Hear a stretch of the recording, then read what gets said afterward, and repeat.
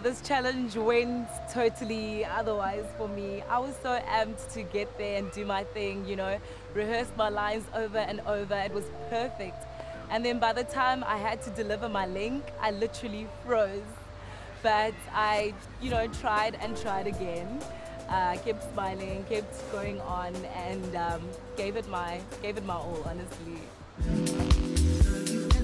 Miss South Africa. Inspire a nation.